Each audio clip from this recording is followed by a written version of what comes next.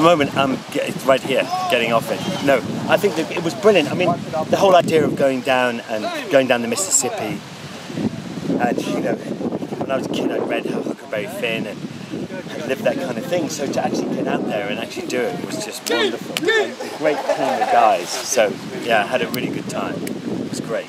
Ah.